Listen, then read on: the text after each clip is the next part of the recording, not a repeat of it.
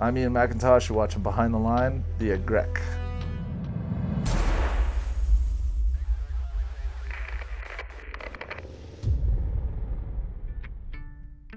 There's our traverse.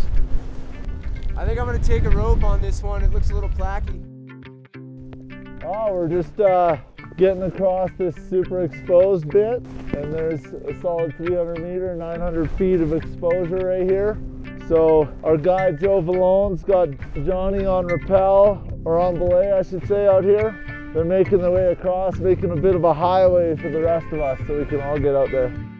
Yesterday we skied the pan, which is your classic uh, La Grave line. It's the one that you got to do when you're here.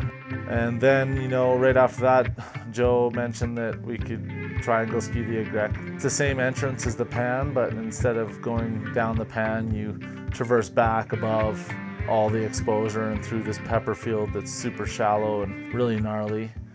Given the amount of snow that was in the traverse and how much time it takes to get into this thing, it's just like it's not a group run. Um, so Ian stepped up to the plate. I can't get through there, but maybe right below me. A little bit of a crux right here. I feel better about it if I get turned around. Here's my crux move. All right. I don't suggest my way. Nice, buddy. Yeah. Okay, uh, I gotta make another kick turn. Kick, buddy. Yeah, dude. You got a handhold? Sort of, I guess you want to call it that. Walking on the chippies.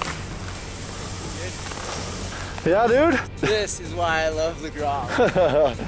Once we finally got in there, the line itself isn't a gimme, and the outrun has a couple shruns in it, and there's a mandatory little cliff in the middle.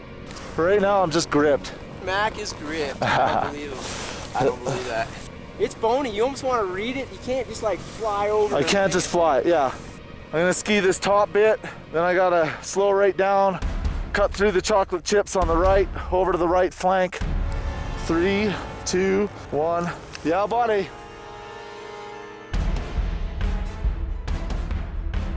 I got in there and I knew I was ahead of myself, but I also knew it was right on my.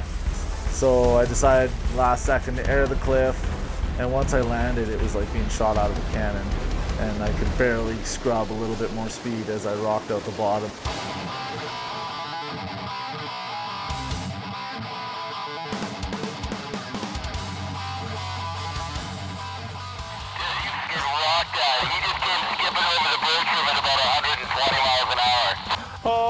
My god, I near chicken. I think he saw me ski it and he was like, oh man, I want to rip this thing too. And so he went for it. Woohoo!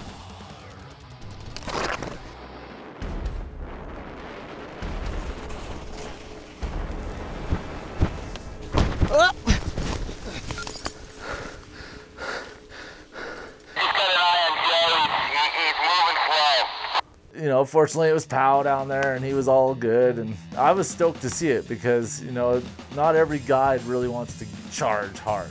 That's why I'm there with him because he's the same kind of guy. He's like, I love it too. This is great, you know. And it was a really cool experience. And what a great way to start off the Le La Grave trip with our first Bluebird day.